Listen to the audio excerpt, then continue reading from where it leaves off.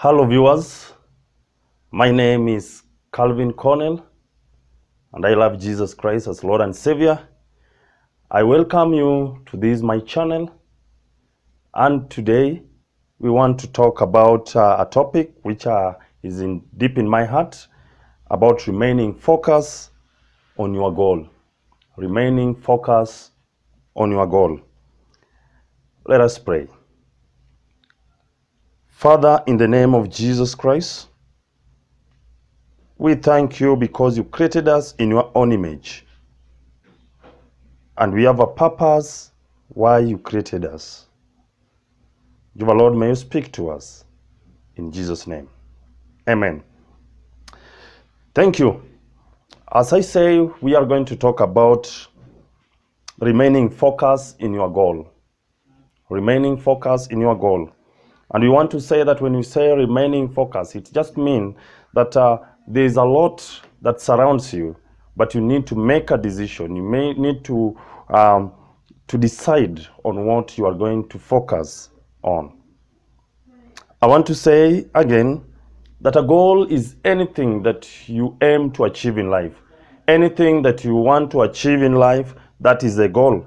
You, as an individual, you are sitting down, you want to do a business, maybe you want to expand your uh, your your business, or maybe you want to continue with your education. I know young people who are, have done their diplomas and now you want to achieve your degree and your master's and your PhD. Or maybe you are focusing on something, a project that you want to achieve. Or maybe you want to save. And therefore, there's something you want to do that uh, at the end of the day, you shall be successful. And I believe that everybody, every human being, have a goal and have an interest of succeeding in life. Now, when we talk about uh, remaining focused on your goal, we also need to understand that life is a journey. And life being a journey, it has its ups and downs. And you know, when you are going through tough moment and good moment, it's not an easy thing. Life is a journey. And therefore, one thing that you need to understand that there's a time you will be up and there's time that you will be down. And one thing that brings this discussion is the crisis that we face in life. Life is full of crises. You know, when you are going through easy moment, uh, there's no challenge. But most of the challenges comes when you are facing a crisis.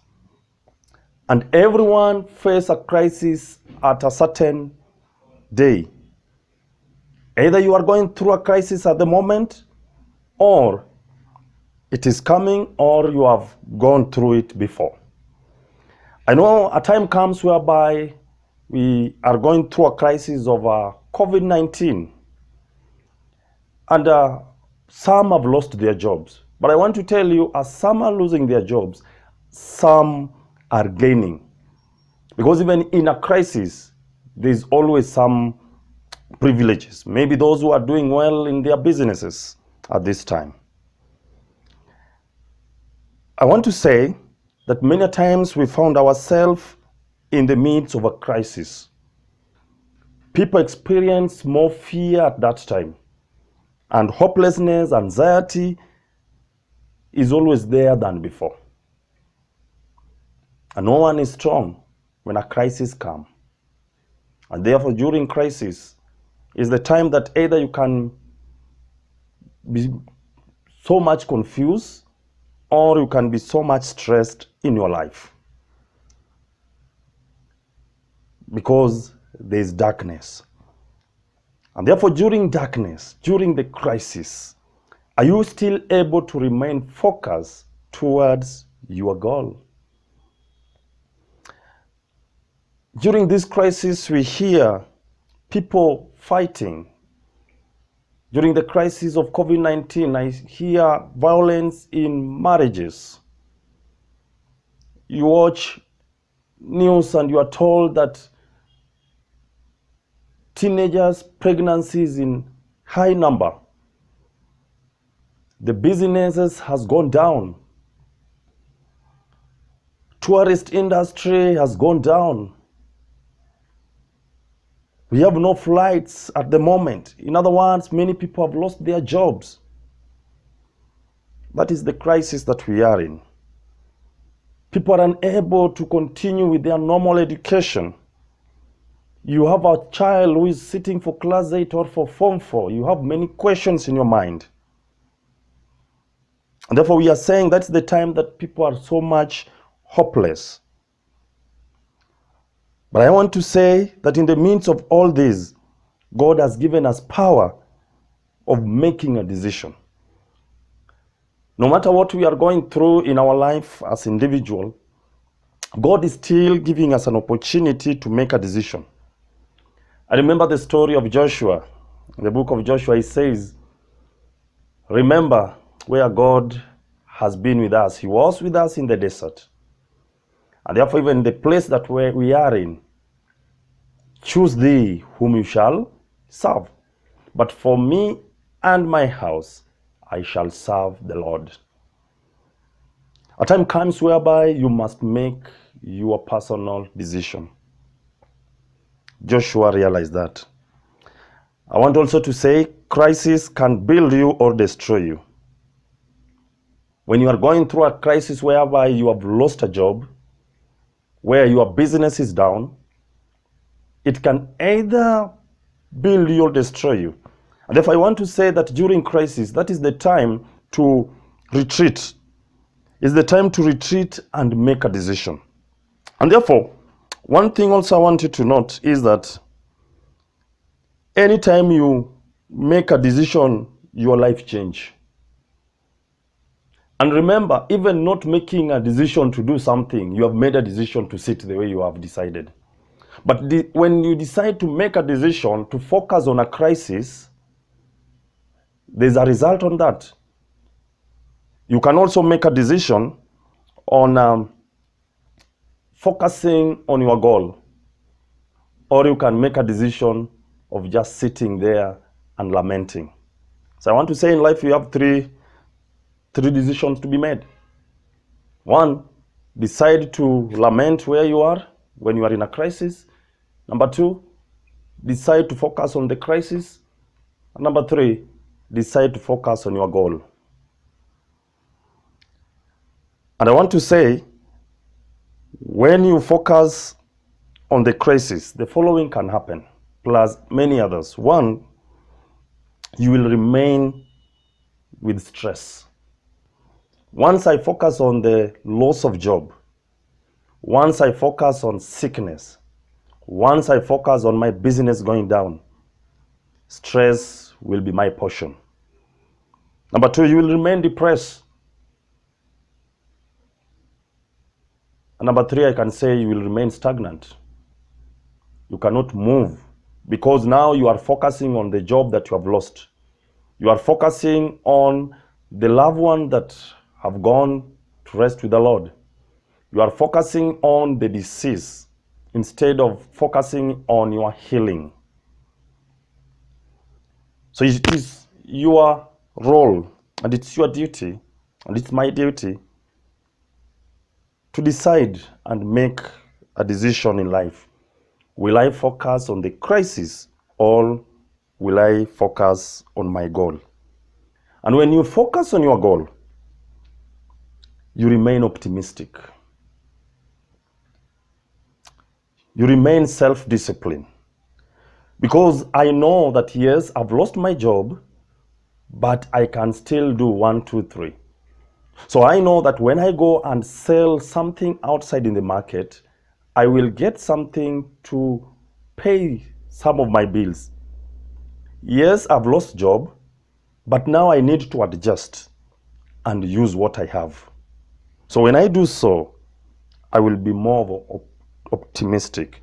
I will be self-disciplined. The little that I have, I will use carefully.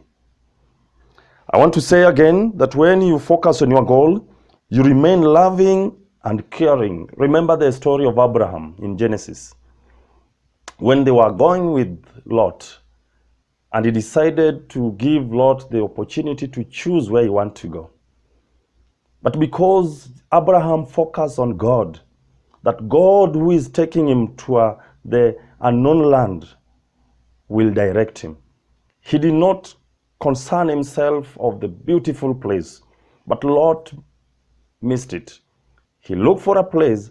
He did not know that that place was close to Sodom, where the people of Sodom could lead them to temptation. Abraham decided to trust in the Lord, and the Lord led him safely. Remember the story of Joseph when he was telling his brothers and his, uh, his family about the story of the dreams that he have seen. The brothers were looking down upon him and they hated him more. But one thing that Joseph did, he remained focused to his dream. These people went and even threw him. In fact, the first thing when they saw uh, they saw him coming, they say, "Look at that dreamer! Today is coming. We are going to destroy him." And the Bible tells us they took his coat that his parent bought for him, which was very expensive. They threw him in a pit. Later, they sold him. When he was working in Potiphar's house, Potiphar's house put him in temptation. But the thing is, he ran away to escape committing adultery with Potiphar, Potiphar's wife, because he was focusing on his goal. Yes, Potiphar's wife was very beautiful. Yes, if he slept with the Potiphar's wife, he could have been maybe promoted to the next level. But he was focusing on the goal. And that helps our brother Joseph. Later, he was taken to the prison. He still focused on his gift of interpreting dreams. He was able to interpret. And through that his gift, that's why he was released from the prison. When his brother came to buy food, he recognized them, but he, he did not have any issue with them. He supported them. Later, when the father passed away, the brothers was afraid and they thought that Joseph is going to kill them. But Joseph said, You had a bad plan towards me, but God had a greater plan for me so that I can be I can bring salvation to many people. And therefore, brothers and sisters, to that story of Joseph and Abraham, we can agree that it's upon you as individual to focus on your dream. Once you focus on your dream, you remain optimistic, you remain self-disciplined. Again, I want to say you will have peace of mind. You will have peace of mind because you know I've lost a job, but tomorrow I need to go and sell my eye. I need to go and sell this. I need to go and do this job. And therefore, you will be focusing on what you will do tomorrow to get something to pay some of your bills. You will also have much to do. No, once you have peace, you have a you have a mind of creativity. Once your mind is so full of stress, you cannot be creative. You cannot innovate. And for therefore, for young people, if you want to be to innovate, please try to focus on your dream. Try to avoid the stress. Finally, I can say when you focus on your dream, you will be able to sacrifice a lot to help other people. You will be able to support even the needy. Yes, you have lost job, but you will care for those who are going hungry. And therefore, I want to say that challenges and issues should not break you, but should make you strong. When Joseph faced hatred from his brothers, he remains strong. I want now, as I almost concluding, I want us now to talk on the enemies of focus. Enemies of focus. What are some of the enemies of focus? Even where you are, can you think of uh, some of the enemies of focus? Number one, I want to say fear. And I want to say that fear is having faith in impossible. Fear is having faith in impossible. It is dwelling in negativity. And you believe that it is impossible. It is impossible. Having faith in impossible. You believe you cannot make it. and you look at things negatively, you, you look at things in, with a negative mind. Second Timothy 6, uh, 2 Timothy chapter 1 from verse 6 to 7 says, This is why I remind you to fan into flame the spiritual gift God have given you when I lay my hands on you. For God has not given us a spirit of fear and timidity, but of power, love, and self discipline. And therefore, I want to say that in the text, Timothy was going through challenges as a leader and he was also young. And Paul was there to encourage him to be bold. Paul was there to encourage him to stand strong. Paul also advised him not to allow people to intimidate him. And therefore, even as you focus on the goal, you need to be strong, you need to be courageous, and you need not to allow people to intimidate you. Don't allow somebody to intimidate you because of your position in your place of work. Don't allow somebody to uh, intimidate you because of your age. Remain focused. Uh, Paul mentioned three characters when he was trying to encourage Timothy. Number one, he talks about power, he talks about love, and he talks about self discipline.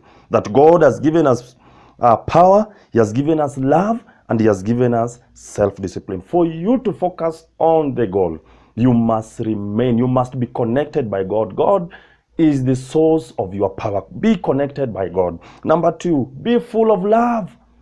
Because once you have love, you will have a lot of joy and you will achieve a lot in your life. Number three, be self disciplined. In the crisis, be self disciplined. Do not be afraid to fail. You know, many people fear to risk.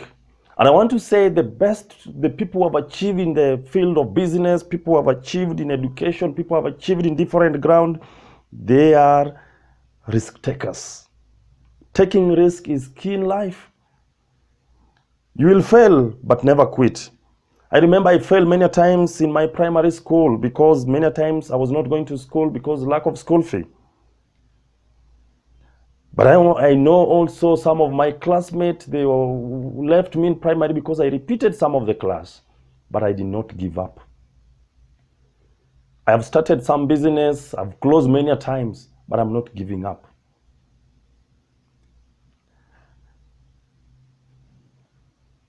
So far I was able to do my class 8, I was able to do my form 4, I was able to go to university because I did not give up. And therefore I want to say, failure in most cases is the right time to retreat and to think about your goal. And therefore when you fail in life, think of your goal. Number two, I want to talk about discouragement. We are surrounded by many things that discourage us our own experience. Maybe you have failed in your business before. Maybe you have failed in a relationship before. Maybe you have failed in other things. Or maybe you lack resources. Please, Joshua chapter 1, 7 to 8 says, Be strong and very courageous.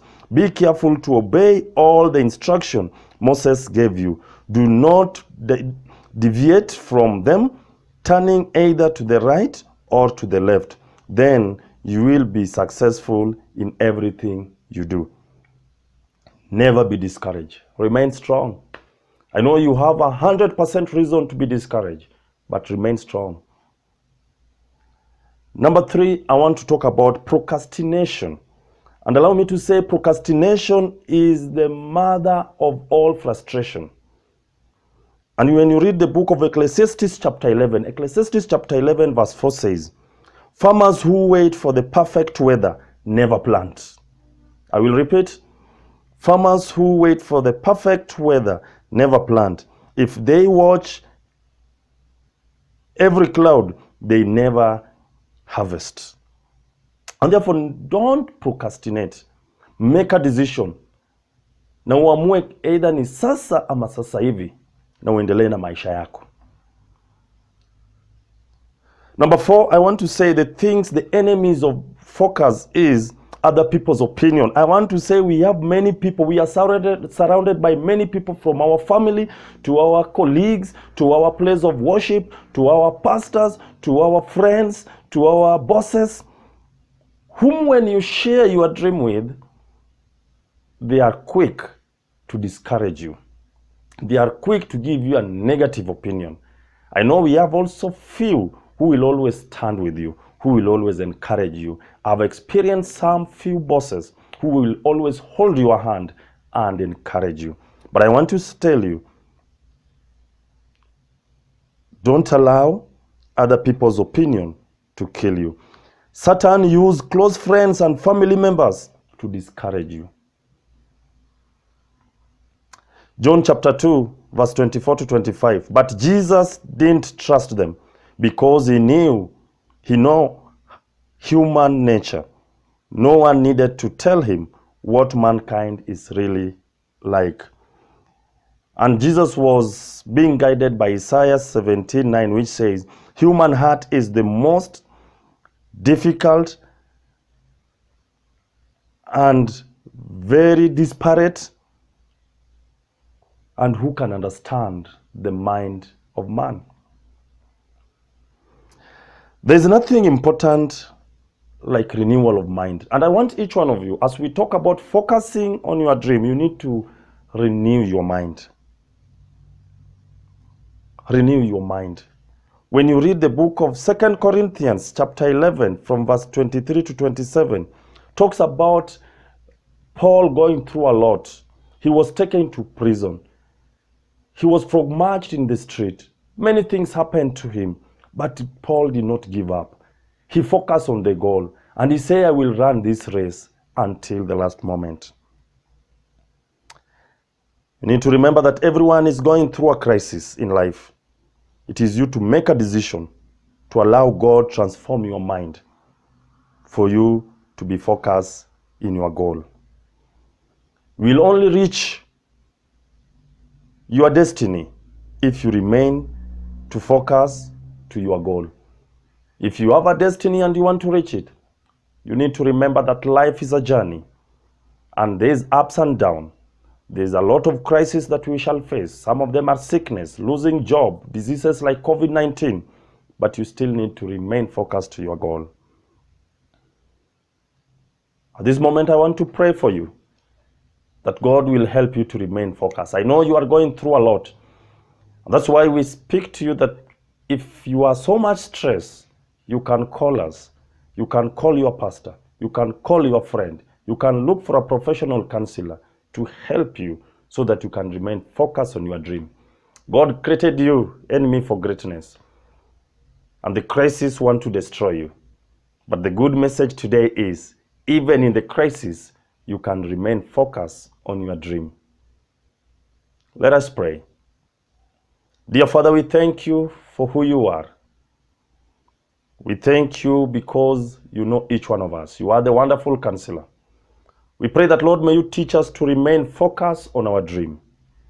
And Jehovah, Lord, may you help us to achieve it in this land of the living one. Thank you, Master, for speaking to us that in the midst of crisis, we can still focus on our dream. In Jesus' name we pray and believe. Amen. Thank you all for watching. I thank those who have subscribed to this channel. I love when you like it, and I love it when you share it to your friends. Let's meet again. Remember, you can remain focused even in the midst of crisis. Don't allow crisis to destroy you. In Jesus' name, amen. Till we meet again, God bless you.